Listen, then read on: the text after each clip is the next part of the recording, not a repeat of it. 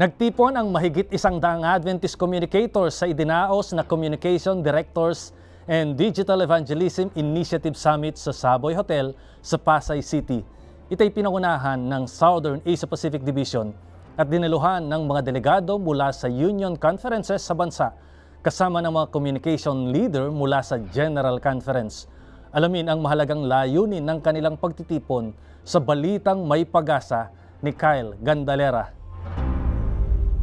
Higit isang daang Adventist communicators mula sa Southern Asia Pacific region ang nagtipon sa isang hotel sa Pasay City para sa pagsusulong ng gawain sa larangan ng Communication and Digital Ministry ngayong simulan ng taong 2023. Tampok sa naturang pagtitipon ng pagkakaroon ng collaborative o may pagtutulungang mga pamamaraan at iba't ibang kasanayan para sa mas epektibong paghatid ng pabalita ng Ebanghelyo sa mas marami pang mga tao.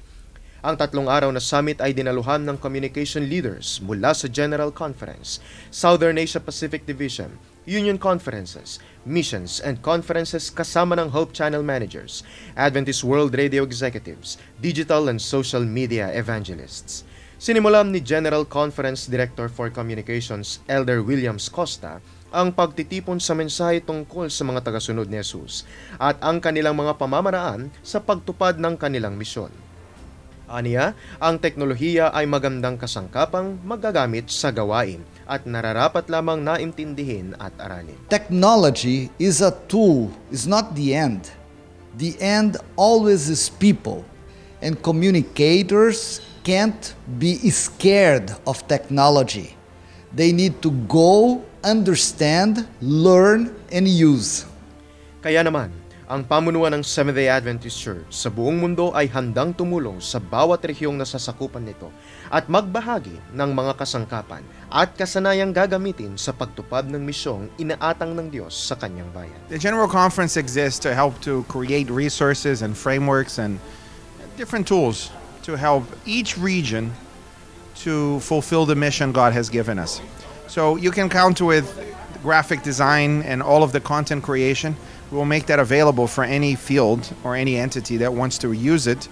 Ang mga paksang tinalakay at binahagi doon tungkol sa writing and creating stories for video and web, visual identity and media synergy ay nagbigay ng bagong kaalaman at inspirasyon sa mga nagsidalo na kanilang magagamit sa media and digital ministry bilang Adventist communicators.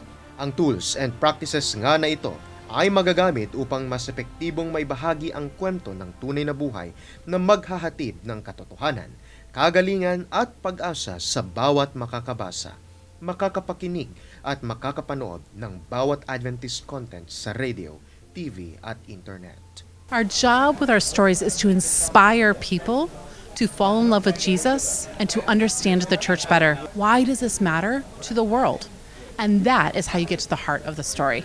Sa pagpapala at pangungunan ng Panginoon ay patuloy ang nagiging pag-unlad ng gawain ng komunikasyon at kasabay ng pagharap sa mga pagsubok at hamon sa field ay ang pagbuo ng mga bagong inisyatiba na sasagot sa mga pangkasalukuyang pangangailangan ng nasabing gawain. Isa na dito ang Digital Evangelism Initiative na nabuo ng General Conference noong kasagsagan ng COVID-19 pandemic.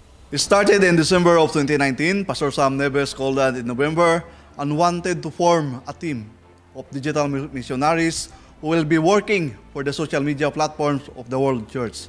Uh, I scouted 153 people all over from the Philippines.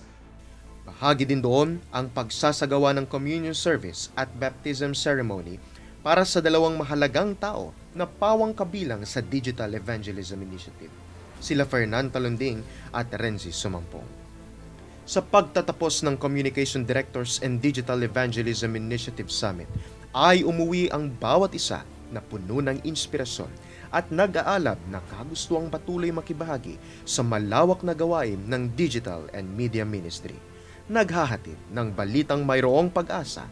Ako, si Kyle Gandalera, nagulat para sa Hope Today, NPUC News.